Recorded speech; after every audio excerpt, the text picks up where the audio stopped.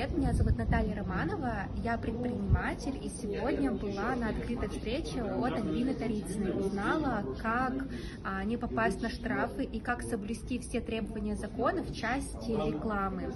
Хочу сказать огромное спасибо, хочу поблагодарить и, кстати, еще записалась к Альбине на диагностику, потому что для меня очень важно а, соблюдать все требования в части а, контролирующих органов.